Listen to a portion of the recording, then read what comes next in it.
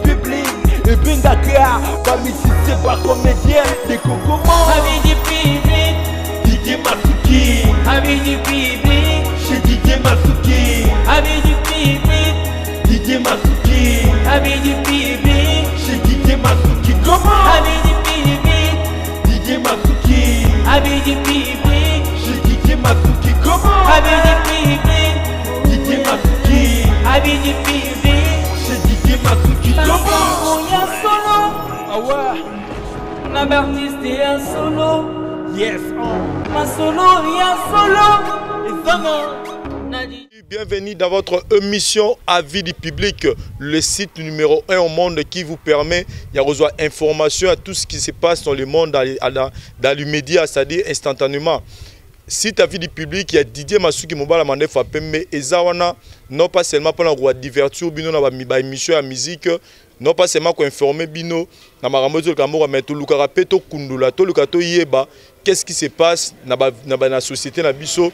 banda tobotama tomona tokutana makambo ebele alors ntango tomoni likambo moko boye existaka oyo oh, vraiment tozalaka na baprécision te tokoluka tokundola mpo toyeba ezalaka vraiment nini neti lelo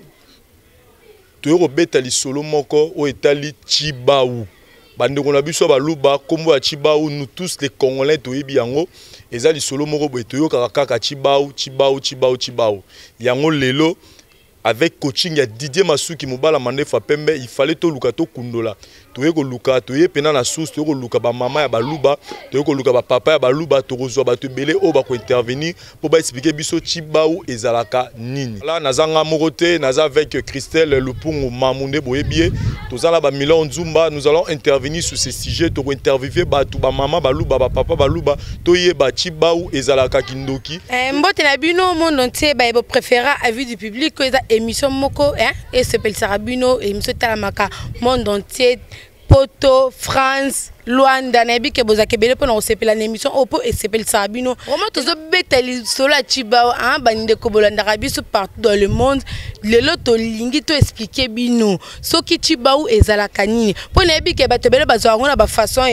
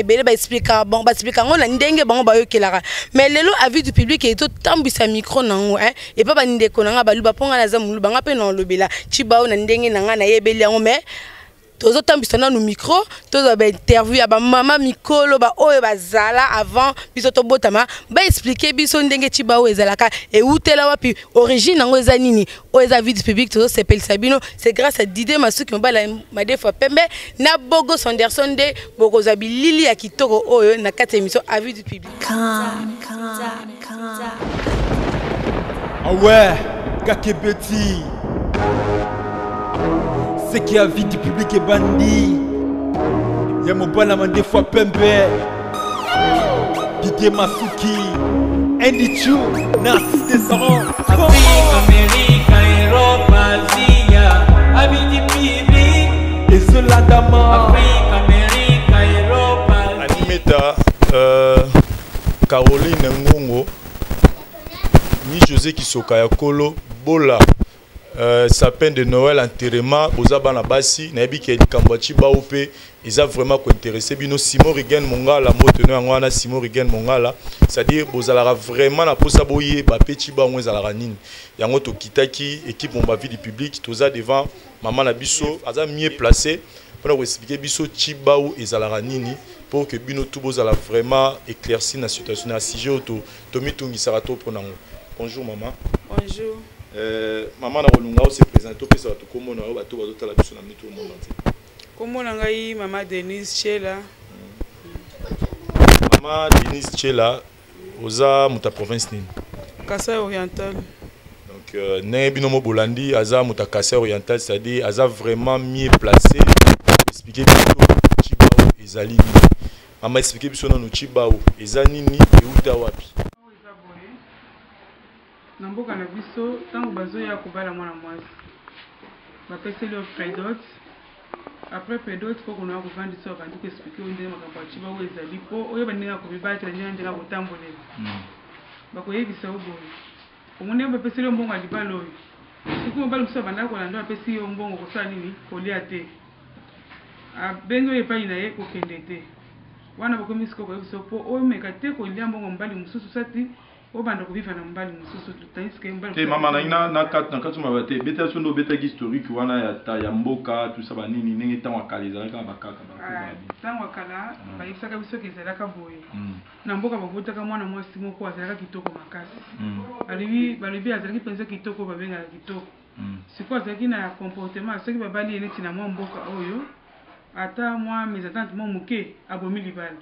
soki abomi libala neti na, na, na kauka awa akei kota libala na matonge po talaka na mboka to bamboka ezala kaka pembeni pembeni pembeni pembeni soki pe kuna asali ata ba deux mois trois mois abomi lisusu akei kota na, neti na kasavu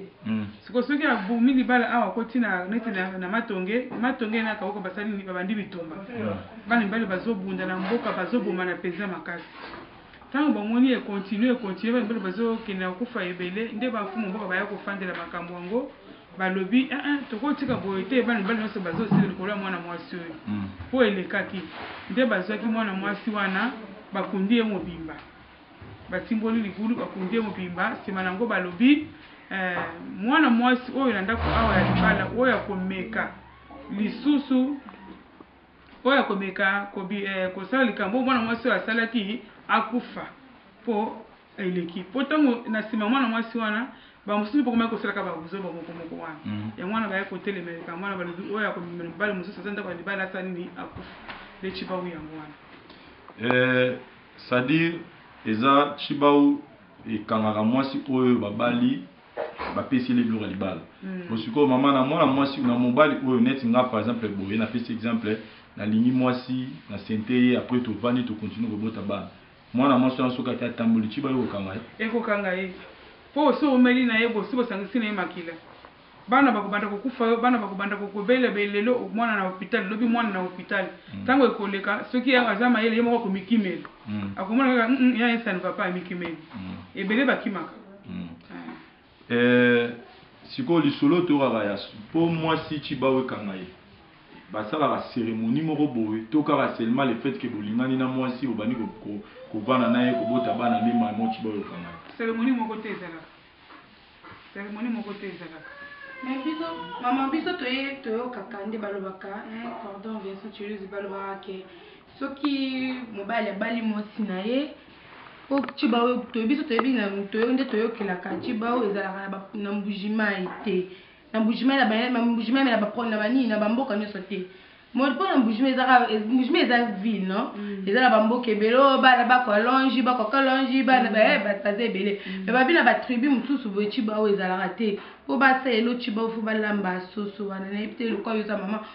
Oko eclaircir biso pona makambo wana. Eza lokuta. Mbuji mayi eza eza ville mais eza natu ba mboka moko ya mike mike pembeni. Soki omeki kaka tu baye kokanga yo. Likambo ya soso eza wana te. Batu toyebi te ke batu oyo toyebi ke bazala na eloko wana toza kaka ba songe. Musonge na musonge soki babalani probleme eza te. Nde oyo toyebi. Ba songe nde ba baluba te. Mais baza na province ya ya Kasai oriental. Musonge aza province ya Kasai oriental, Mutetele pe aza province ya Kasai oriental. Nde batu oyo bazalaka na biloko wana te oza kaka bikolo wana Musonge na Mutetele. Pe babalanaka mingi mingi bango na bango. Ozo comprendre? Soki yo mwasi ya muluba obali musonge, ozo sala biloko wana, coutume wana ekolanda yo mwasi ya muluba. Ozo comprendre? Oko mona mwana abeli ti presque à l'inconnu. Sikoyo mama phenomène ya lisolo ya soso oyo balobaka oh balambisaka mwasi soso soki mwasi ayebi likambo akokufa bilomo explique biso nanu likambo ya soso na tshibawu soso a joua role nini na tshibawu? Eh balambisaka mwasi boye exemple obali nga na mboka ata obali nga awa na capital eh obali nga bien opesi biloko nionso tokei na yo exemple na poto kuna tovandi ti tango nakomi sikoyo namoni ke Awa nakomi na place moko nafungwami mingi, nakoti na loyenge, nakomi kobima na mibali mosusu, nazosala, donc nazosala penza kindumba, ndumba oyo babengaka penza kindumba. Soki mobali amoni claire te, misala ezokufa, makambo nyonso ezobonga te, akozongisa ngai awa, soit akomema ngai na Kinshasa awa, awa tolobaka eza nde na mboka, toye na ye. Alobi te mwasi oyo na lingi aza mama bana na ngai mais ba pesi nga ba rapport mbala na mbala azo ndima te yango wana na ye na ye ba koloba toko perdre mwana na biso ya mobali te nde toto talela nde oyo po mwana mobali na famille esotelaka nde eh, parasolei ya famille po ayebi ke lelo soki na zali na kende po mwana nga mobali na kozo mm. ba leki na ye ba kozo mbongo ko tanga ozo mm. comprendre mm. ba kotuna yo mwasi ba kovandisa ba kovandisa ba koko ya kala ba mikolo neti bakoko ya mobali na yo, papa ya mobali na yo, ba tata mwasi ya mobali na yo, donc bovandisa batu ebele batuni yo exemple Denise likambo oyo bazo loba oyebi yango? nayebi yango te soki ozo wangana pona soni okokufa ya solo olobi ya solo nzambe nayebi yango te soki soso bopesa ngayi nalamba Soso wana oyo balambisaka ya lumba lumba tolambelaka ba bokeli soso ya lumba lumba ndenge boye boye na yabi bino na sombi soso na bomi nde koyamba ba bokeli pona kokotisa bino na ndaku ya libala ezalaka ya ceremonie te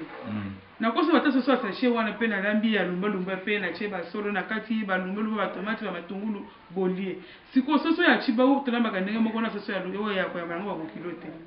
wana ba tiaka ye eloko te tango bakotuna yo owangani owangani bakovandisa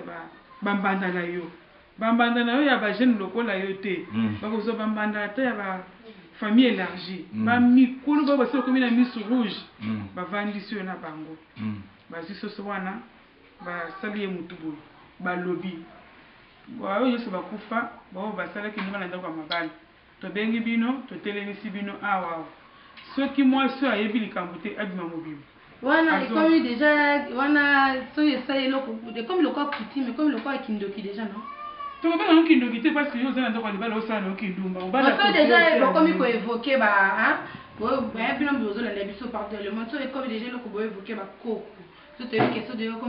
bakoko to bato oyo bakufa botelema bakoyebisa basi oyo bakufa na eloko na eloko wana botelema kasi botelemisa deja bakotika yo soki oyebi likambo bango mpe bakenda batika bafamile na bango koyesa teke ndenge bato bakufaka boye soki ntango monani ekoki te oza na place moko okei te ozotelengana oza esprit ozotelengana ozomata soki te eza bongo te papa ezalaka nde bongo Sikoyo bakoloba bongo, ntango bakoloba, Bapesi yo soso wana, okotya ye na mai ya moto te, okolongola ye masala kaka ndenge aza mobimba, alongoli masala, bakati ye, batye ye na nzungu, bapelisi moto ya kuni pembeni ya ndako, neti ndako yango boye, na nsima boye na koni nde batye kamwa nzungu wana, bapelisi moto wana, bapesi ye soso wana, okende kolamba ye. Soso wana babenga yango nini? Nde soso ya Chibahuye wana. Oyo okotya ye tomate te, okotya ye matungulu te. Olambi ye kaka bongo? Ee. Soki oyebi likambo, moto wana, moto nde ekoboma yo sikoyo. Mpo oye kolamba sikoyo na moto ya bokoko. Ozo comprendre? Soki, soki oza na posa ya libala na oyebi ke oyebi likambo te, okosala yango. Neti nga tango nautaka Lubumbashi, basalisaka nga yango po, ba bandaki koloba ke basi oyo bazo vanda na Lubumbashi, ba, ba respectaka mibali te. basalaka buzoba po kilumbashi eleki ba kisi mingi ya ko dominer mibali kaka basalisaka yango mais nga oyo naza na bomoi na bana na nga nionso na perdaka ata mwana na nga moko te po nayebaki likambo te Sikoyo mama totuna nao mukie consequence ya tshibawu eza nini? Mwasi oyo atamboli libanda tshibawu ekangi ye biloko nini ekolanda ye na sima? liwa Liwa eza ya liwa ye ya bana ya mobali. soki tshibawu batuni yo wangani neti bala atuni nanu awa. Nanu boke mboka te owangani bana bakobanda kobela eza kobela eteke ya mwana aleli mutu pasi ekoma kobela ya mwana akangami boke hopital penza mbongo ebimi penza ya ebele koma lelo oyo abeli lobi oyo abeli lobi kuna donc bana bazo bela bango nionso donc eza deja signe wana ya mibale ya mibale sikoyo ezali Soki mwasi aza makila makasi te ye moko akolela mutu pasi akufi pe avant okokufa te sans koloba il faut oloba donc ezalaka okomona kaka olobi ah bolimbisa ngai ndenge nazo bela boye zambe na ngai naza na posa ya kobika na tambolaki mabe bolimbisa ngai na vandela kaka bana na ngai po yango ezalaka na ebandeli ba bakotuna ozo wangana tango ozo bela ozo bela ozo bela ti mukolo yo ozo loba kaka lelo ke Bolimbisa ngai, nasalaki boye, natambolaki kindumba, nasalaki kisi, nadomelaki mobali na ngai, natamboli na mibali autant, boye, boye. Osilisi kaka koloba boye, okufi. Ezalaka nde bongo. Sikoyo, soki mobali ayebi, akangi yo, excès ya bolingo elekeli ye, osengi ye pardon, limbisa ngai, navandi na bana na ngai, demon nde asalaki ngai, nayebi eloko te. Alobi nalimbisi yo, aboyi koloba libanda mpo bakende kobongisa yo, mobali akokufa. akolela moto pasi akufi to avi ata na voiture bo accident akufi ka liwa ya mbala moko mbala moko. Mais est ce que moyen moko ezalaka te que mwasi oyo atambolaki mabe a reconnaitre mabe na ye eyebani na batu nionso eza na ceremonie moko te basalaka pour que mwasi wana mabe elanda ye te ni bana ni mobali. Bakosala ceremonie nini wana bako banda kopesa basi courage po basalaka kindoba na nzoka mabala. Na mboka pe soki osali makambo muana mobali alingi yo kaka akokende na yo na mboka na bango place abalaki yo alobi tala muasi oyo asali boye asali boye batuni ondimi to bongisa ozonga na libala olobi eeh bobongisa nazonga na libala na kozongela te bakosala nini bakolongola yo bilamba nionso balatisi yo lingwanda babandi kotambusa yo na village na tala ba mobali na yo mabele libanda nzoto nionso libanda kaka lingwanda oyo balatisi yo wana sikoyo bana oyo babota na famille wana bamemi nzete banzete bazobeta ofimbo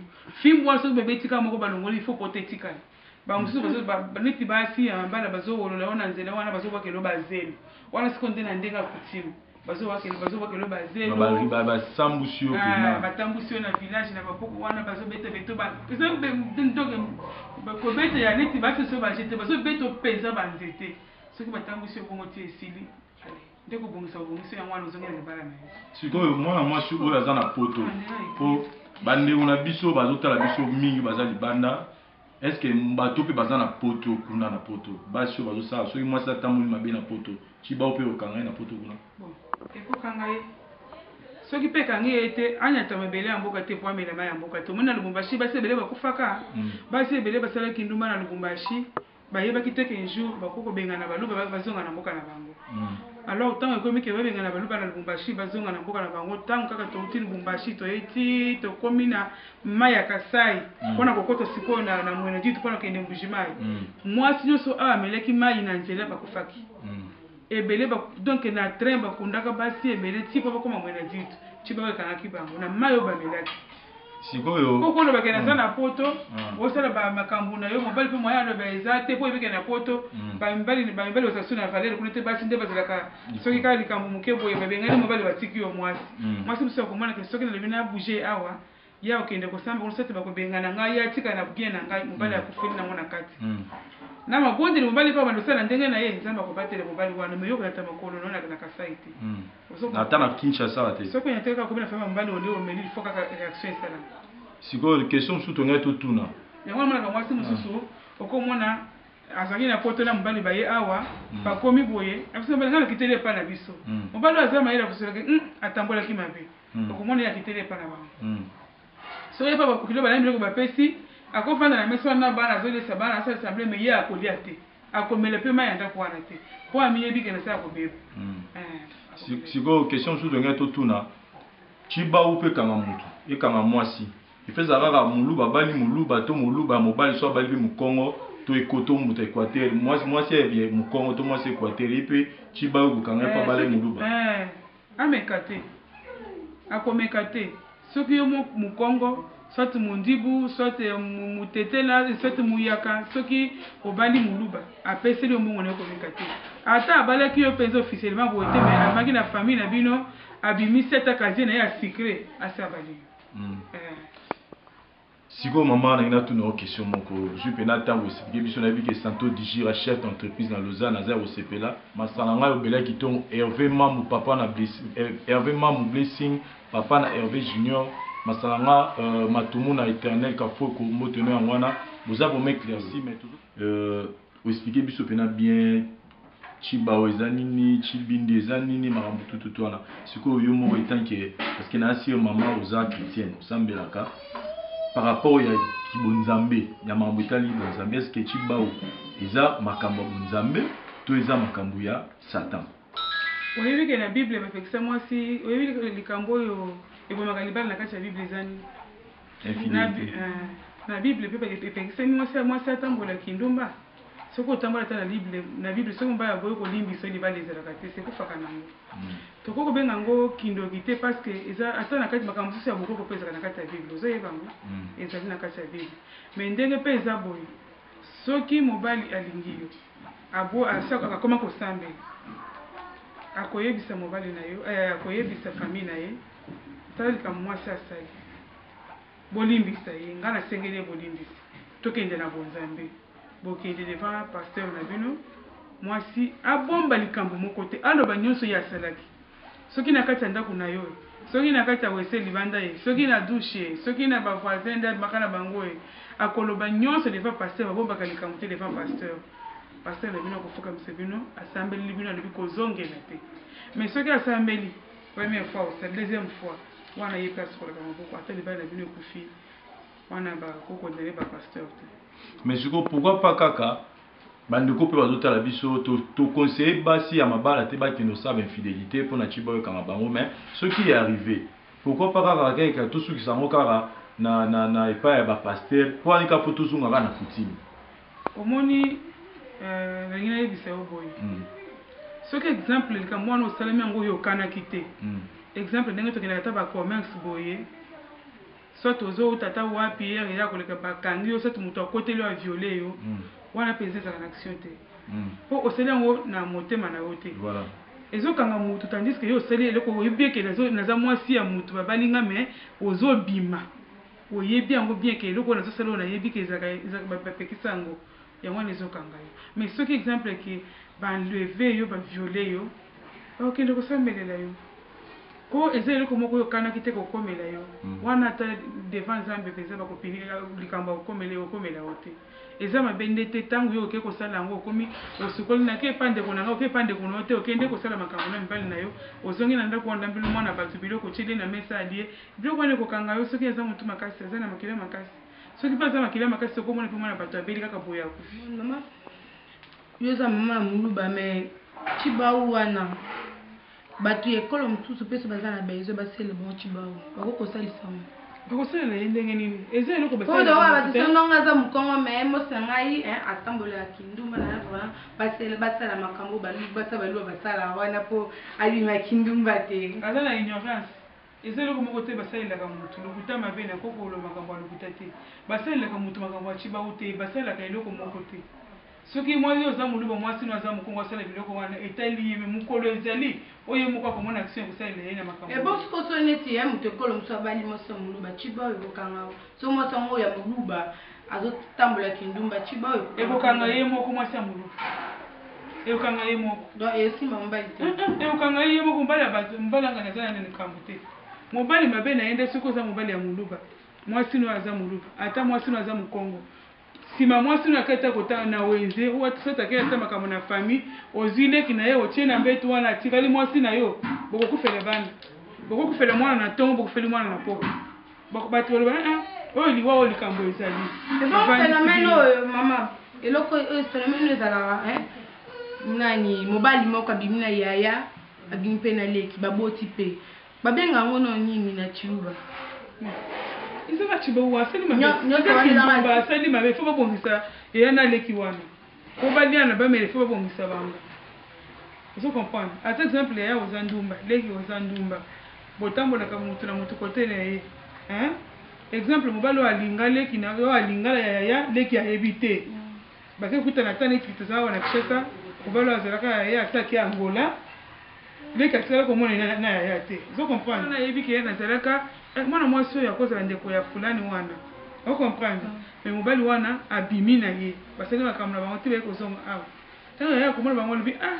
Ndeko nanga, mais oyo aza, azalaka mobali na ngai te. Bayebi sikoyo ke basangeli, bango sikoyo baye koyebana ke basangeli mobali moko. Il faut basalela bango prière, soki basambelaka mingi. Ebongo sikoyo soki bafanda, yaya na leki banda bafanda na ndako moko? Babongisaka bango. Bakosomba soso, bakati ye motu, basopeli bango makila na makolo, basaleli bango ba ceremonie ya estili, sinon te bakobanda kosimba bana te, leki akobanda kokufela ye, akobanda kokufela tii ndenge bakobomisa bango, soki tokoki komona pe moko na bango aye kobota mwana moko ya zoba,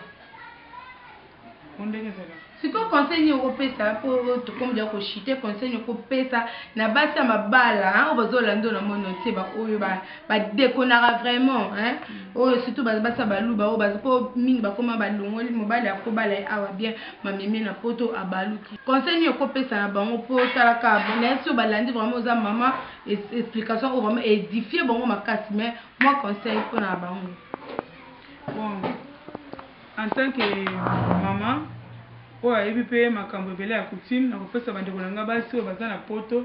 oyo mibali babali bango surtout ba jeune mm, na ba jeune oyo bazali awa aza komikitisa akomi kuna azwi misu ekomi likolo likolo atala koto atala koto poto eza mboka na bango te jour bakozonga na mboka na bango fo ba respecte mibali na bango mm. merci vraiment monde entier yebi tozo continuer sujet na biso eza kitoko nayebi ke bosepeli nango makasi eza lui du public esepelisaka bino bien kaka ndenge christelle mambu muluba christelle lupungu la rose ndenge bana poto bolingaki mingi auti koloba Ça dit tozo continuer kaka sujet na biso mais pona mama tozui intervention na ye apesi avis na ye apesi point de vue na ye tozo continuer pe kaka ko faire circuler micro kaka nde boyebi avis du public ezalaka mais nako pesa mama micro apesa dernier mot ne pe soki aza na deux trois personnes bazo landa ye na monde entier bazua dedicace na bango.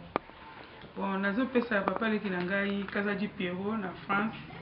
topesa ye mbote mingi. C'est-à-dire na bana poto tout monde entier oza na besoin osalisa anniversaire, mariage, service traiteur eza kaka moko Vision plus avec Jose Prenda, Jose Prenda masolo evanda na ndenge akosakana te, Pathy Bofondo, Maron de Louse, eh, vie na ngai, Kumu wa Pape Motema Mere Ve, ba mbote na bino yango wana. Oui, les amoureux de l'émission Avis du public, kaka ndenge tobandaki na ebandi tozo continuer na sujet na biso ya kitoko ya Chiba oyo nayebi ke bozo sepela nango vraiment esali bino deja plaisir bino bolandi deja maman oyo apanzaki poke na zala deja siko na jeune fille moko eh, a expliquer biso totuna ye avis na ye par rapport à Chiba eh, mi José Kisoka ya kolo olanda vraiment sujet oyo na Yolande Mayasi Tantine Mayasi Adi Mayasi Lisi Sutila bino boa ba chérie hein sujet oyo vraiment esepelisa bino vraiment mbote yaya Ouais, bandeko balandi bazolanda yo na vie du public bakoyo bakomona omonaka nadine kapinga nadine kapinga vraimen aza moluba bambe oyoki kapinga mais tozolobela sujet ya cibau nayebi te cibau oyebi yango nayokaka yango mais namonaka mpe baction na omona mpe baction na soki atant ke yo jeune fi vraiment euh, na ndenge oyokela yango oyebi mpe ezalaka ndeni consequence yango ezalaka nini na vie ya motu Bon, nayebi conséquence nango ezalaka soki obali fo ozala fidèle fo ozala fidèle kodekonaka te po opesa lokumu na famille na yo mpe na mobali obali parce que balobi soki obali okomi ko donc okomi ya motu wana eza te obanda kokende boye bono sokwa ba sikoyo na ba jeune fille kwa yo vraiment badekonaka conseil nini okopesa bango parce que te na opesa bango ka batika eza malamu te moto soki asi abali yo ahonore yo lokola ngai nabali nanu te me nakoki mpe kobanda kosala bozobana na importe ou te fo na se respecte mpo mobali na ntango ya obala nga ayeba ke non nabali mwasi moko apesa nga honneur mpasi soki ozobima libanda ozotosa mobali na yo te epuis ezalaka mabe mpe eza na baconsequence ekokuta na mobali na yo soit na mwana ou bien na famille donc eh, na, na yo mwasi soki oza mpe moto mpe tant que yo jeune fille tibau eza kindoki to eza ndenge nini parce que tibau ememaka yo moko olobi awa ekomema badésordre na libala liwa bana kokufa siko mpo na yo en tant que jeune fille tibau eza kindoki to eza biloko bon naoka balobaka ke tibau eza kindoki na baaction oyo esalemaka yango bato bakoma koloba yango eza kindoki mais soki kose respecte ekobe omona yango kindoki te mpo na nga bon nga namonaka kaka nayokaka kaka mai natikala kopalpa yango te soki ezalaka ndenge natika kokaya komona ndenge bato bakutu ti bau ekangaka motu te bon mpo na komona namona namona keno mwasi abimi libanda ezwi mwana soit ye mwasi ou bien mobali lokola euti koleka awa frère na biso moko donc frère wana bana koyembela nzambe me ntango eh, mwasi natambolaki olie ke non aannonce na famille aannonce na famille te abombi ntango akei na mboka akufaki atiki mwasi na bana batika baotelengana mais ezalaka ke non soki osali yango soki avonga epa mobali mobali fayebisa famille ntango akoyebisa famille après okomona bavandisi famille Eh, soki boye batuni yo keno balimbisa ye fok babengi mosala na nzambe asambeli lwa tika sikoyo deya eloko so bakomi kobenga deya mosala na nzambe ya kosambeli deja seke kindoki c'est-à-dire eza mabe wi parce que depuis depuis bokoko eh, esalema bongo eza lokola ekomama bongo keno mwasi nyonso akomeka kodekone libanda fo likama wana ezwala seke tibao eza kindoki mpo na yo mpo na nga mpo na ndenge bakutime wana nde bazobengela yango na mona yango normal te donc eza kindoki Oui, merci Nadine. Nous avons fait pour répondre eh, bah, à la question. Nous avons au moins conseil moko et pas bah, bah ça la ndumba na mabala po to mo to lobi ke chibaou eza kindoki. Mais conseil ni kopé c'est la bah ça la maman. Pour nanga na opesa conseil na basa mabala. Soki osi obali, kanga makolo na yo, vandela mobali na yo. Place omoni ke mobali azokomisa yo te, sala effort place wana olingaka akomisa yo, ke okende odekonaka libanda. Wana eza malamu te. Wana vraiment naza contre na yango. Soki mwasi abali faut azala fidèle na mobali na ye. Parce que soki oza fidèle te, okotya mobulu na kati ya libala na yo, okomona mobali mosala ekufi, bana, desordre, donc tout nionso ebanda marcher bien te. Sikoyo nazongi nazonga mwa moke po ekomi 6 heures. ntango ozoloba deja ba desordre ezokota wana deja tiba wana eza kindoki na kati mpo so deja ki so deja desordre komi okota na kati ya foye ya bato seke kindoki moi eza deja mais esalema deja bon cetadire mwasi wana baboma ye oyoki nayebi te soki bouti kotuna mokolo moko asa explike bino cetadire bakunda motu bakunda mama wana na bomoi cetadire mibeko wana esalema bongo donc eza baloi etabli eh, vraiment oui oui eza baloi etikala bongo etikala bongo ata balobi yo okomosambela ndenge nini soki kosali yango ata bato bayebi te mais un jour ekoloba mais so basambele lieu basambele lieu ekosilana oui merci nadine ozalaki wana mpona korepondre na baquestion ya ville publique mwa badédicace na baye bayo bazolonde na monde entier na numero no ya contact peut-être mosusu akobenga yo mpo opesi mpe conseil tara kimaka molobelo ye maloba mo eza trop capital merci beaucoup napesi merci na mama na ngai komona mama denise napesi ye merci beaucoup euh, napesi susu arlene kalala aza na france napesi andré andré lisusu napesi ye mbote epuis nazopesa numero contact na nga c'est 082 32 20 870 Voilà, toye awa epai ya mama euh, totuna ye concernant sisi na biso oyo ya tibaru etant que mama mama pene ba mamwa tala bomona ye vraiment toyeba tibaru eza nini topesa ye d'abord mbote mbote mama mm, boni ah, malamu mama toye epai na yo mama toyeba lelo tibaru ezalaka nini Mwana na ngai napesi yo nano merci avant na répondre na question oyo oza kopose ngai ke tibau eza nini il faut koyeba ke tibau eza eloko moko ya mabe na vie tibau wana eza kaka mpo na baluba te tibau eza eloko moko soki otangi na biblia obandi na genèse tibau eza na kati Tshibawu parce que soki mobali ake kobala mwasi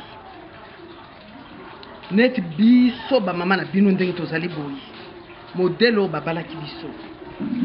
tout d'abord eloko ya liboso il faut korespecte mobali na yo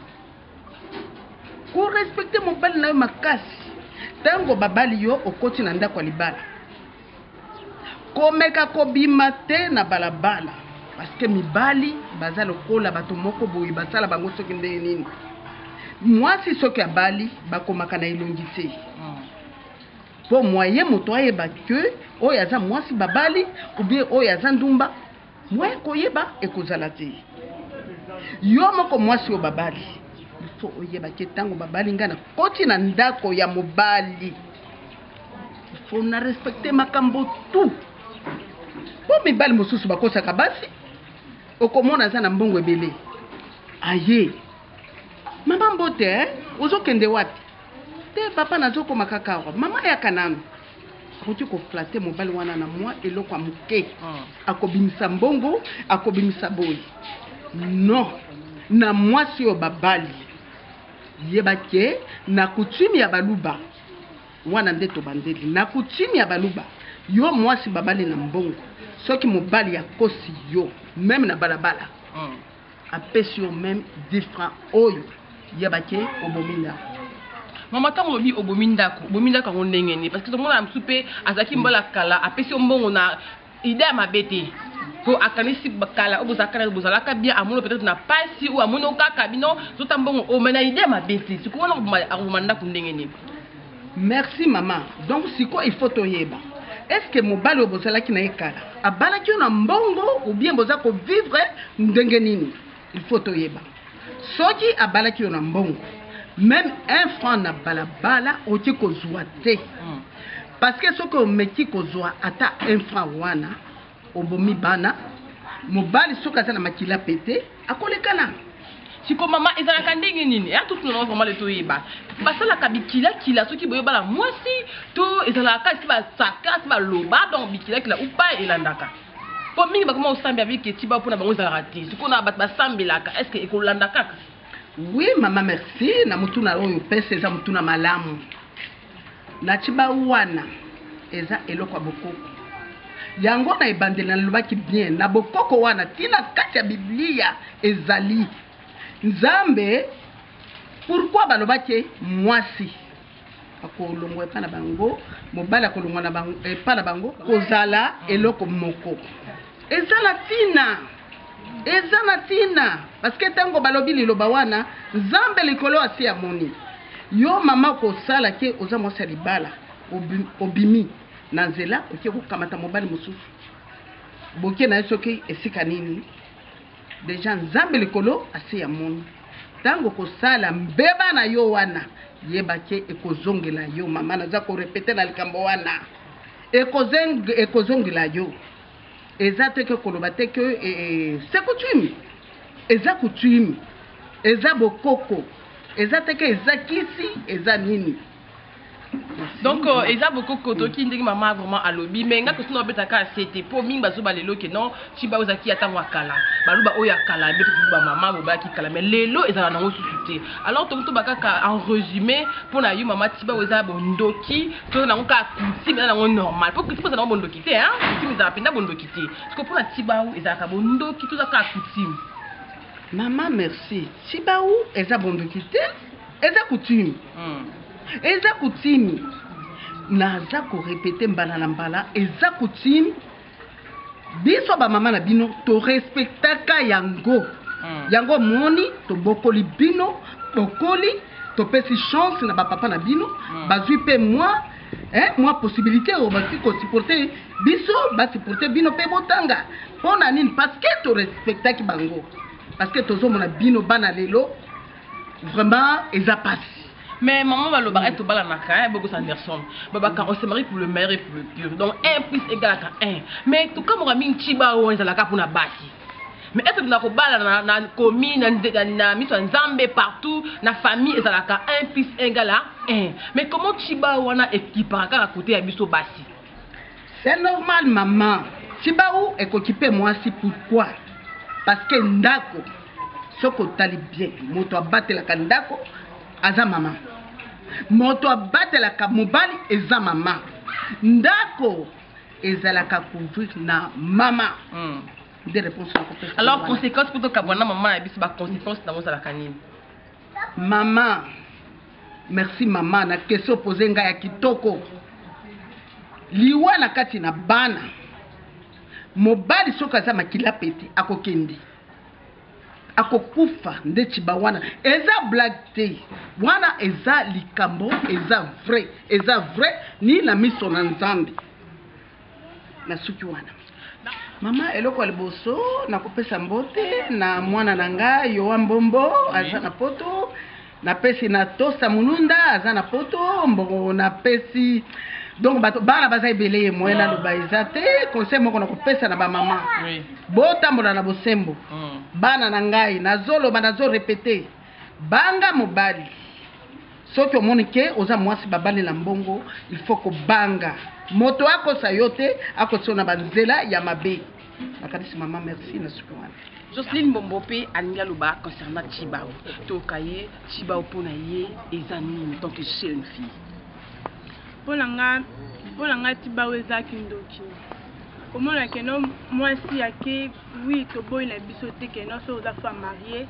okoki kotriche te hmm. mais ekoma ntina niveau ke mwasi akoki kotriche mwasi akokufa ou bien akobebisa mpe vie na ye mpo na nga vraimen tibao eza mais omoni te ke balobi soki kaka nde otriche nde obebisi vie na yo libota na yango na foyer na yo soki kaka nde otriche est ce que panza kindoki oui eza déjà kindoki Po eloko ni mutu asali ye emema ye ti na liwa. C'est à dire oza kindoki. sikoyo etant que yo jeune fille lelo hein, mbombo soki mobali amoyiba ye abala yo estce kolinga to olinga te mpo ozobanga tiba oyo eza bondoki to oyebi na olinga kaka mpo kuna soki olingi osali mbeba okei hein?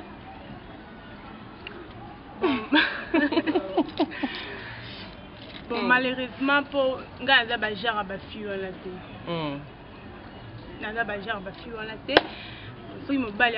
ezala moluba ezala moswahili ezala mokongo mm. ngala soki obali kolingaka te okende otriche mm. soki deja okomi engage yeba okende ya comment dirais-je ya kozala na ndako na yo okipe mobali na yo okipe foyer na yo ntango okomi deja engage yeba okomi propriété privée ya mutu moko mm. ça ne sert à rien okende libanda koluka de gauche à droite mais au moins te ntango opesi idée oyo mpo na ngai fala otenir cibango parce que cibango eza kaka mpo na kopunir bato baza bainfidèle oui kopunir bien sûr mais nga vraiment franchement esepelisa nga te namona yango ndire baye kotuma wana elekaka makasi ondire ekota na kindoki na kati mm. oui eza nango mabe te mais baye bameka na kodimine eh. kodimine bakotime wana franchement mm. bameka kodimine ne aye bameka ata kochange mpo ngai namoni yango eh, oyo oh, hmm. mwasi akenda aza mobali ne ya moluba ake atriche ememela bango vraiment bana bakoma kokufa mosala mobali ebebi ekomaki kosenga bafuta babiloko ebele ebele ebele ebele sikoyo Jocelyne nde bataki ba ekota biso basi est ce que yo ozalaka contre yango to pour yango mpo mibali babiti bazwaka na mwa bango te mwana kozala ni mulu bana na basi ni 5 4 ekozwa ye te parce que abalaki nde mwasi wana ekozwa nde mwasi parce que mpo na yo oza contre yango to nde nini mpo na ngai aza contre yango parce que euh, c'est pas dit que non mwasi kaka nde akoki kosala mabe te mobali nde asala mabe non mm. bameka kochange ezala mpe kota mobali mpe sosali mabe mpe mabe mpe eyeli yo soki mpe mwasi mpe asali mabe mabe mpe eyeli ye mm. na bongo na ondire bazopesa mibali motu makasi mm. kotela vumanga aza contre mpo nango eh, eske opesa conseil opesa nini na basi mabala nyonso tu bazolanda biso ya baluba oyo baluba te conseil na yo toke mwasi mpe lokola conseil nini okopesa bon conseil na ngai eza kaka ke non moni soki osali choix hmm. tokozalisa tobalana mpo na sentiment te tobalanaka mpo na mama te mpo na oyo moto boye te ntongo ondimi déjà engagement ya kolata alliance wana il faut hein omimona ke non nakoki kosala oyo te nakoki kosala oyo te parce que naza déjà engagé ah. Ozala boza na ngo ou bien boza na ngo te linga mobali na yo ndenge ondimaki ye bokoma ti na niveau ya kobalana hmm. conseil na ngai ezaka yango wana mo mabanga esalaka bien balandi yo basala biso vraiment vraiment bien et puis elongola joceline mabanga na yo ezali banani mabanga na ngai naopesa mingi mingi na famille na ngai eh, flore mbombo pamela mbombo yoa mbombo benet mbombo fiston mbombo wana bana poto ya ndenge ya ya jete kua mm. bakenda kenda bayaka yaka na grand frère na ngai tosta mbombo sans oublier pelenga moabi yo oza ya ngai alors alors alors pour kida avec toi chiba oza bondo kito eza normal voilà Tibaweda eza kibondoki. Merci monde entier na sur sujet oyo ezosala bino plaisir hein inspecteur mingle mbongo balobi motema esali terstar émission oyo ezosala plaisir à trop tozo continuer sujet na biso ya chibau chibau eza kindoki to eza kindoki te na yango naza déjà na maman moko ya kitoko toye kosurprendre ye entrée de kotonga talaka kalming te rentrée scolaire hein azosala mosala na ye kotongela bana ba uniforme tellement ye paza muluba tokotuna explique biso façon eyebeli chibao bonjour maman Oui, bonjour maman. Elle se présente non nous est devant ma case mon dossier bazolanda o comme non nani po bayebi de bamodi ya mosala osala. Bon, kombo na ngai eh, babengaka ngai ndaya kayeya fideline Oh, mama ndaya mama ndaya fideline oyo eza abus du public ye koseprendre yo na ndako na yo tozolobela sujet na biso ya cibau nayebi te epa na yo cibau elakisi nini nano euh, mpo na nga personnellement nayebi ke en tant que moluba mpo na nga nayebi ke quand on parle de cibau Elingi eloba par exemple na ndenge ya coutume selon ba explication ya ba koko ya ba maman toyebi ke mwasi soki abali baloba mwasi moko mpo na mobali moko alors epa na biso ezalaki mpe na adage ezalaki koloba libala bapesaka definition nango je ne sais pas si tu peux me permettre na ndenge nga nayebeli Baloba Djibaka, Dji elakisi Djinanga, Ba elakisi Babidi, Ka elakisi Kashidi. Donc on se marie euh, un homme pour une femme, une femme pour un homme. Alors mpo na ngai Chibawu elingaki juste kolakisa ke soki mwasi abali azali mpo na mobali moko. Jamais mwasi akoki kobala pona mibali misatu, mibali mine ndenge tokomi omona yango lelo. Alors ezalaki soki mwana alongwe na ndako ya ba parents bazoyebisa ye ndenge obali lelo il faut obanga chibawu. Chibawu eza nini? Eza lokola mwasi babali yo na ndako ya mobali, obandi kozwa mibali libanda ozokotisa na kati ya ndako ya libala. Donc ozosiye mbetu na yo ya libala. Alors bazalaki kolakisa biso que non Soki mwasi abali, azwi mobali libanda, donc na ndenge ya mibeko ya baluba, eza lokola mwasi wana asali tshibawu. Tshibawu wana ezalaki na ba consequences na yango ya makasi na tango ya ba koko, mosusu mpe tii lelo na bato oyo baza mpenza lies na ba liens familiers na ndenge ya coutume, eza mwasi soki azwi mobali libanda, il faut mwana soit mwana akufa, soit mama akufa soki aza makila pete. Soki maman aza makila makasi mobali ya libala oyo esika ba basi ye mbetu il faut mobali wana akufa alors par là toyebi ke soki osi obali okoki kobima libanda te okoki kozala ndenge eza lelo na kishasa okuta mwasi ya libala aza na ba camarade ya mibali misatu mine libanda Alors wana soki ozo deconner ba bengaka ngo mwasi wana asali tshibawu. Tshibawu wana ba consequences na yango tango ya kala toyokaka mwasi moko akufaka ba kundaka ye mobimba ba consequences wana nde ba lakelaka basi nionso mwasi akoki kozua mobali libanda te soki abali. Donc c'etait dans les camps de mariage. Donc soki hors mariage soki mutu azwi na ye mobali hors mariage donc ciba oyo ekangi te. Donc ciba wana ekangaka mutu soki oza lie par dot eza lokola babali yo bapesi misolo donc mariage oyo eza reconnue na kati ya famille na yo eza reconnue na kati ya eh, donc e, esika ya l'etat eza reconnue na eglise eza lokola mwasi ya libala oyo tozobenga mwasi ya libala akoki kobima libanda te. akoki ko siye mbetu na ye ya libala te donc quand on parle de cibawu ezalaki kolakisa ke soki yo olingi obala eloko ya liboso bazalaki koyebisa mwasi nyonso lokola mwana azobima na kati ya libota mwana koyokisa biso soni te mobali oyo abali yo ezala yo olingi ye na motema moko kozala te lelo oza na kati ya libala lobi makanisi libanda alors du bazalaki kosenga mwasi po obala il faut olinga nanu mobali wana Po e pousser yo te okende ko lula lisusu libala. Ebongo pona basi oyo ezalaka aza mwasi ya libala mais camarade naye moko boye ya kala relation naye moko ya kala asololaka naye ti lelo mais aza na kati ya libala tshibawu pe kokanga ye? Eza mabe makasi yo mwasi soki osi obali okomi mwasi ya batu obimi na monde ya ba camarade obimi na monde ya ba connaissance na ndenge ya ke oza na ndaku ya libala ozala na ba camarade libanda na biso baluba ezalaka te. Donc na biso baluba jamais okozala mwasi ya libala babali yo na misolo okeyi libanda ozui lisusu ba camarade po ki po na nga ndenge nazalaki kokolela bazalaki ko explique biso ki camarade ya mwasi na mobali ezalaka te soki mwasi asi abali okoki kozala ba camarade na heure oyo libala nanu eye te mais soki libala eye libala nde etindaka moto a choisir nalingi mobali na nga oyo pour toute ma vie Je ne peux pas chercher à avoir des amis libanda ya mobali na ngai. Si j'avais des relations, il faut na casser ba relations nyonso wana pour dire que desormais naza dejà na alliance na ngai, nakomi mwasi ya bato. Là, je dois eviter les amis. Ba amis ya libanda, il faut ba sentir que je ne plus, je ne suis plus comme avant. Maintenant, je suis tout autre. Je deviens une femme mariée. je dois être euh, on doit me respecter parce que je suis déjà marié ebongo sikoyo ma fideli ntoto wana mwa moke mpo na baye mobali oyo aza na ye moluba te me abali mwasi ya moluba estce bakoci bau so mwasi wana abimi libanda ci bau mpe kokanga bango euh, donc question wana eza ba mpo na nga personnellement ci bau wana mpe ekokanga ye ozolanda ciba wana mwasi aza muluba me abali mobali ekolo mosusu te omoni biloko wana nde tokomi komona yango actuellement bato bazosepela ah, ke non lokola naza moluba mpo nabima na monde ya cibawu ifo nabala mokongo ifo nabala mongala ifo nabala mais cibawu wana ezose manifeste d'une façon ou d'une autre na sens nini Ozala mukongo, ozala muswahili, ozala nani, obali mwasi ya muluba, soki mwasi wana azo decoucher, azo bima libanda, azo zwa mibali mususu, ezo amener ba consequences ebele. Consequences wana peut etre yo mwasi okomona yango te.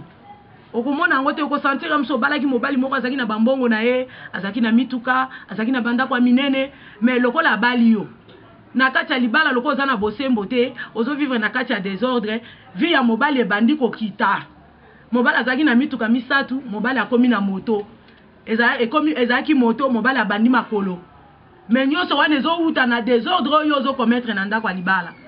Mais okoyeba yango te. Mais lelo na biso baluba na ndenge toyebeli, mwasi il faut a se, a, a, a se faire respecter, hein, azala vraiment modèle, azala exemple. Il faut alongwa nanu na monde nyoso ya oyo ya mabe en dehors ya libala. merci vraiment bozolanda biso baluba neti nga mamu obino boprefera biso soko omeki kutu donc tujete biso tose respectaka vraiment vraiment mama fideli tongo toyeba siko différence wana eza question na biso suka mpo na yo cibau eza kindoki to eza kindoki te donc mpo na nga soki mwasi azotambola na ndenge ya ndenge tozobenga yango lelo cibau soki mwasi azosalela eloko wana elle est tout à fait ndoki donc biso toyeba différence ya cibo mpo tomoni toyeba cibo oza kindoki to oza kindoki te par rapport ndenge mwasi soki abimi libanda baconséquence bato euh, bana bakokufa desordre ekota ya famille donc tongi toyeba siko cibo yango ezalaka kindoki to ezalaka kindoki te eza maloba ebima na bakoko oyo ebanda bomwasi biso tobotama nanu te mm. donc eza eloko moko ebandi utamela bakoko na biso donc eza coutume donc biso tokoli eza lien eloko moko baprepare yango avant meme baparent na biso babotama donc bakoko na biso baya mpe bakuta yango donc biso bana mpe tozozwa baexemple yango apartir ya baparent ndenge bazobokola biso mwana na nga omoni ndenge oza boza mwasi soki ozwi mobali ye akolakisa biso tosolola mobali abala yo ozala na ndako no ya libala mbetu ya libala basangisaka mibali mibale te misato te ifo kobanga chibao chibao wana eza eloko moko ezali kosala neti omoni soki bazolakisa mwana keba place oyo konyata te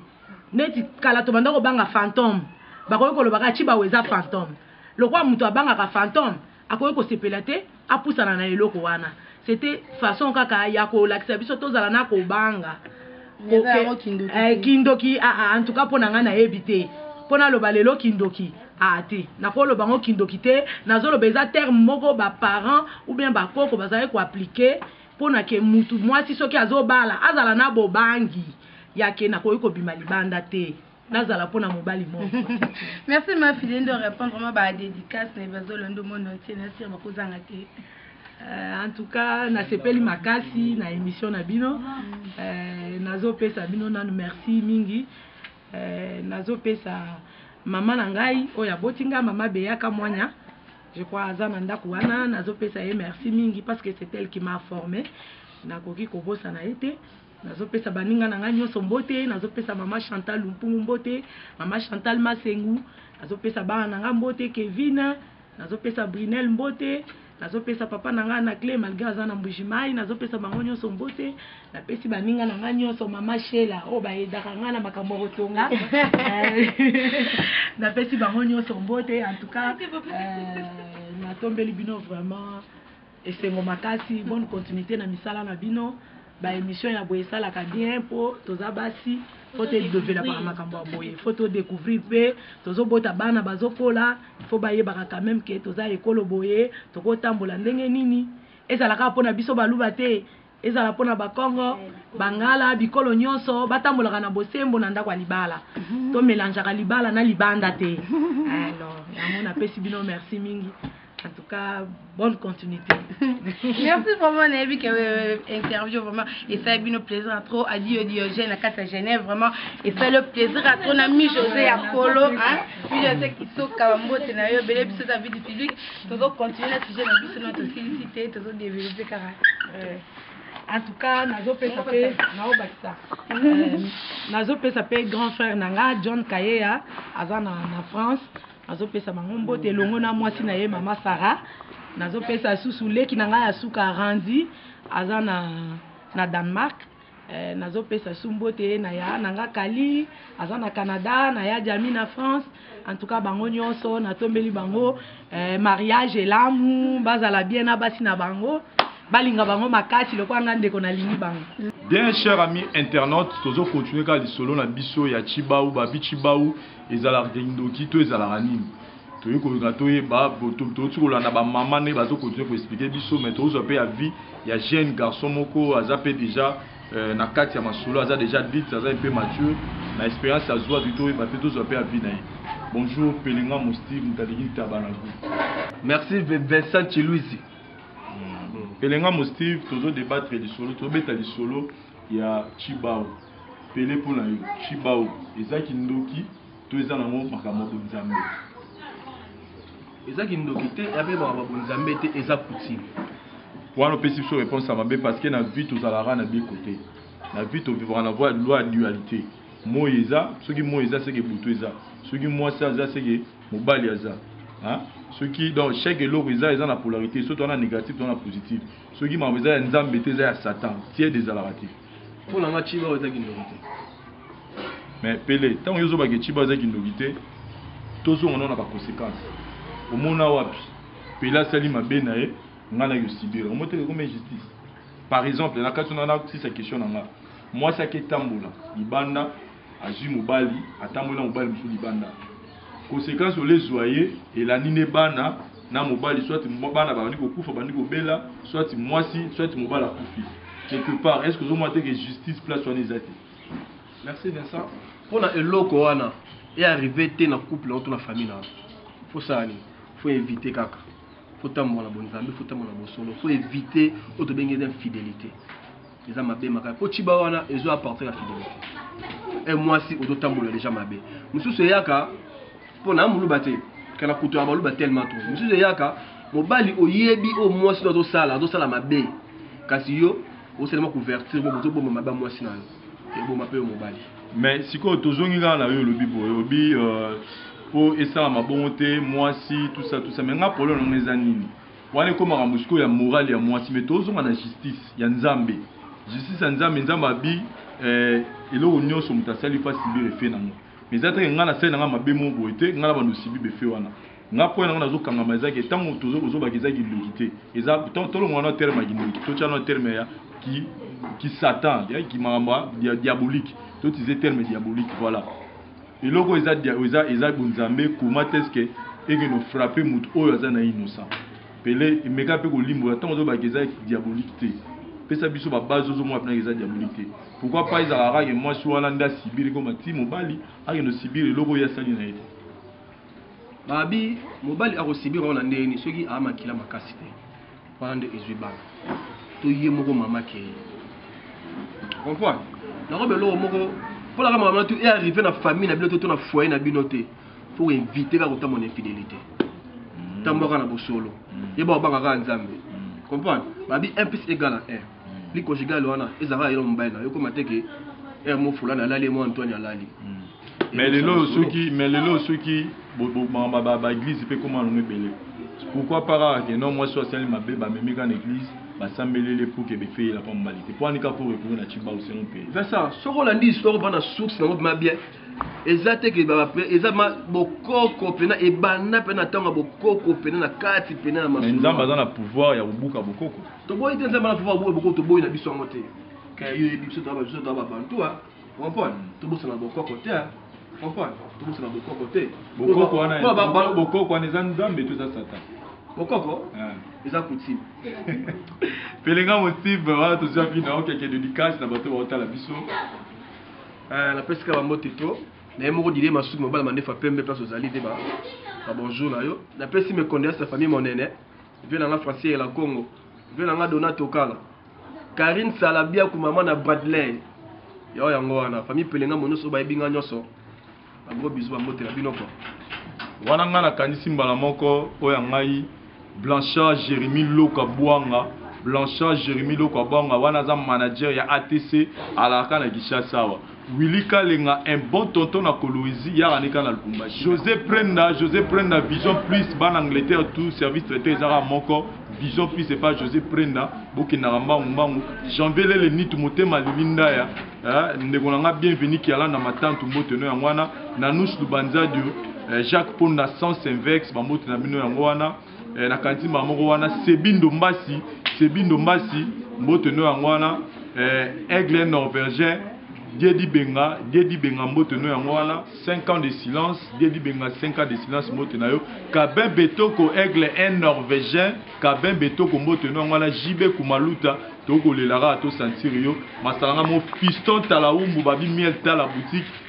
ekosimbaka kaka deja deja donc toko continuer sujet na biso mais na kokata te sana pesa libanga na nga na bola sapin ya noel enterrement bola sapin ya noel enterrement dide masuki akokita deja Euh, tozo continuer kaka na sujet na biso bongo ya Chibau toyambi susu euh, grande dame azawa toyeba point de vue na ye propos ya phénomène oyo Chibau bonjour yaya bonjour pesa biso nkombo na yo abengo na nkombo nini nkombo na ngai mirai deuxième regard est ce que mire tokoyeba euh, oza na mboka ya mboka nini baba nini province nini oza baluba bakongo ndeti babiso bato bato bakongo bandundu to équateur nga na moto bandundu mais oyokaka oyo babengaka tibau phénomène ya tibau ezalaka mingi na bato na baluba donc tibau mpo na yo eza nini bon mpo na nga tibau eza na baluba ka ndenge olobi eza eloko moko mabe eza mabe na ndenge nini ndenge ngai naza na ngai motaba ndundu nayebi na bango te me navanda na baluba eza na grande sœur na nga moko abalaka muluba kobala abalaka muluba mama wana muluba asalela mama asalela grande sœur na nga wana apesa, apesa mwana na ye donc disons mwana ya mobali asalela ye mai mai moko boye atye ye na molangi ya koka na ya fanta na nini na primis atya molangi ya primis apesa mwana na ye ya mobali sikoyo abengaka grande sere na ngai na ndako na ye na mikonga mosika na mikonga abenga ye kuna ayebisi ye abi na ekolo na biso ndenge eza boye mwana na ngai aza moluba biso toya baluba donc mwasi so akoti na libota na biso il faut bapesa ye soso aboma basala ye bikilakila wana te ma grande se na ngai azali miso makasi alingaki yango te aboyaki mpo soki andimaki yango bakokaki mpe kosilisa bana soit bango moko mpe bakokaki kosila oh, mais non mais non ozela na mokie Ba intervenants na biso balobi boye. Maman biso nayebi te balobi Chibau eza kaka te so oza no donc Chiba za pona ba infidèle. Soki nde oza infidèle Chibau ezui yo. So oza no fidèle Chibau ekozwa yo te. Siko ye aboyaki pona nini parce que une femme mariée déjà. Bon. Aza femme mariée toboyi te mais Chiba wana elandaka. Elandaka malgré aza marié mais aza mowumbu ya mobali te a mutu. aza na famille na ye aboyaki yango mpo amonaki yango eza mabe mpo ekutanela biso na voisin na biso voisin na biso abalaka mulu azalaka muluba mobali ne mpe muluba esamelaka bango bongo epesa biso nyonso kobanga neti ngai naza boye nakokaka baluba te nakokaka baluba te mpo nabangaka na ngai nabangaka lobaoaa mpoza moi sérieuse yango wana fidèle donc ngai nde na boye fidèle ya makila to ya makila ya je kutu te est ce que oza marie na marie te ah, bongo oza marie to otato ya fidèle merci beaucoup sikoyo na baoyo balobi ke mpo na bango ciba oyo eza bondoki ozo ko appuye bango mpo ozala fidèle il faut ozalaka marie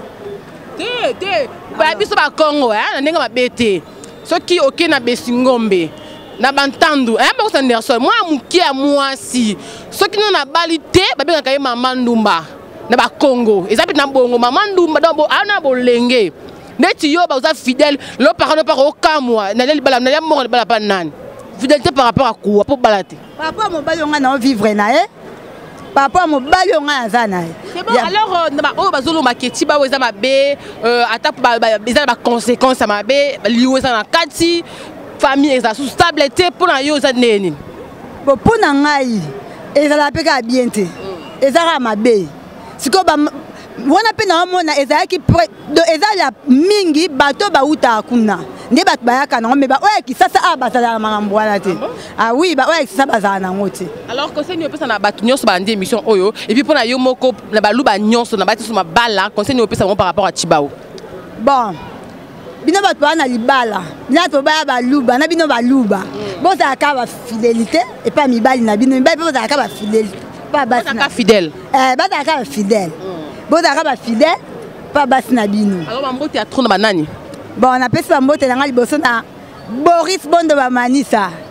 donc famille Boris Bondo mobimba bisika aza azolanda nga ba mbote ebele napesi mbote na petit frère na nga Ansi Luzolo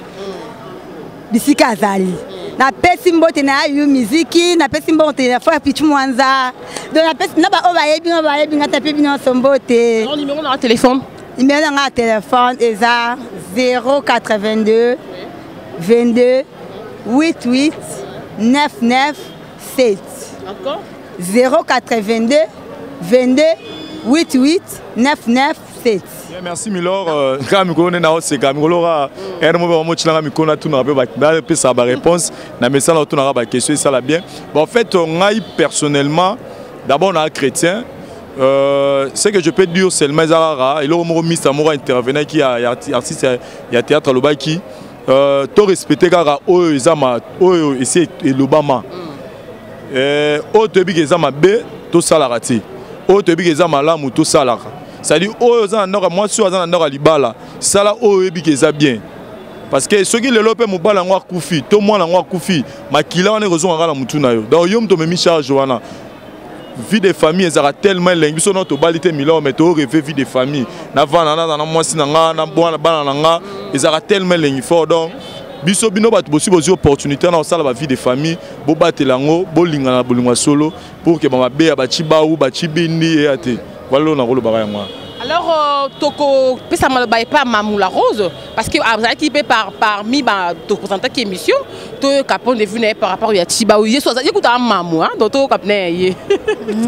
ah, merci millor la métisse noire hein? balobi, balobi vraiment mbiaka na bango na ndenge akosakana te vraiment ngai na moluba chiba vraiment eza eloko mabe te millor mpo na yebisa yo omoni eza eloko moko efoka ose respecte yo so basi babali yo libala eza mpona mwasi na mobali do neti nga boye mobali na nga osepela na ye parceke omona nga nabima libanda te poso nabimi libanda na koti ya malere na kati ya ndako na nga siko nga nde eza boye naleya na nga ovivre naleya na nga bana nake okotisa vraimen nake otriche libanda mpo nabebisa libala na nga to nabebisa mobali na ngai donc esimba kute donc ciba oza kindoki te mpo na nga vraimen moluba ciba oyo eza kindoki te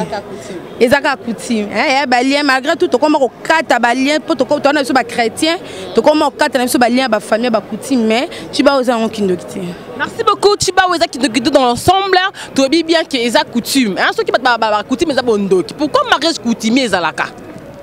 soki vraimen ezalaka bondoki ya solo mpo na ngai mariage coutumier elongwa merci beaucoup à comprendre ke bino mo bomoni comment bato balobi par rapport à ciba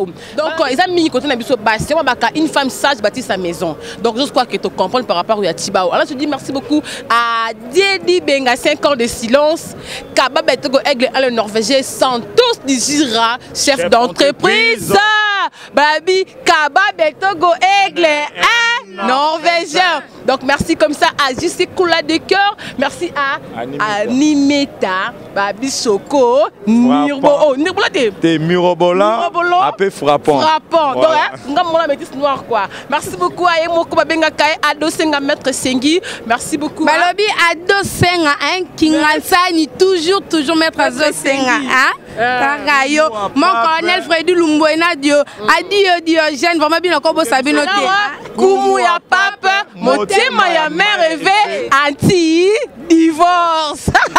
merci comme ça voilà topesa cameraman non ah, cameraman ah, te bogos anderson makula blonde mama disparate didier masuki mobali ya mandefa pembe